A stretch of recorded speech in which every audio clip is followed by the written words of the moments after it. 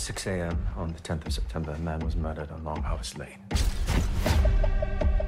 There's not one hit on any database. No DNA on record, no prints.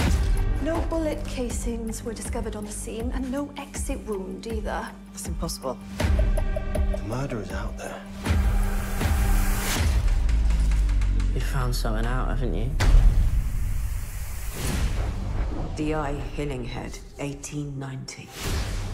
D.S. Whiteman, 1941. There's been three murders on Long Harvest Lane, decades apart. The bodies are all identical. You've fallen down a rabbit hole. I can't follow you. Tell me what's going on. The body is from the past, present, and future.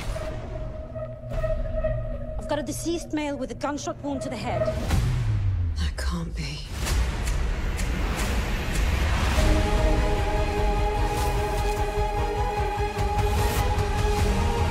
I will not stop until the truth is discovered.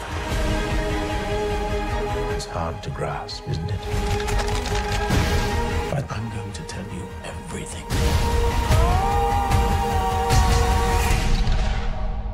Going to blow your mind.